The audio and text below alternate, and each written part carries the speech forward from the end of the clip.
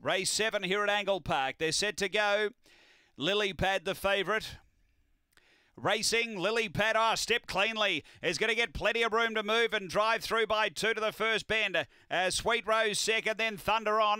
They were followed by Mega Dosser, then Oakvale Blue, a gap away, Fantastic Shell, and back at the tail, American Man. But Lily Pad away by three down the back, Thunder On sticking on, Mega Dosser making ground, and then came Oakvale Blue. Uh, but it's all Lily Pad to the turn, out by four over Thunder On, Oakvale Blue making ground, but Lily Pad a one act affair. Lily Lily Pad first, second Oakvale Blue, third Tight, Mega Dosser or Fantastic Shell, uh, then Thunder on American Man and Sweet Rose. Time is around 29.70.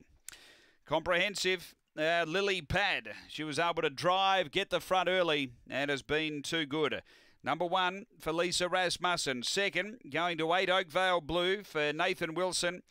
And third to seven, Mega Dosser for Ben Rawlings. It's 187, 4 fourth after race seven here at Angle Park.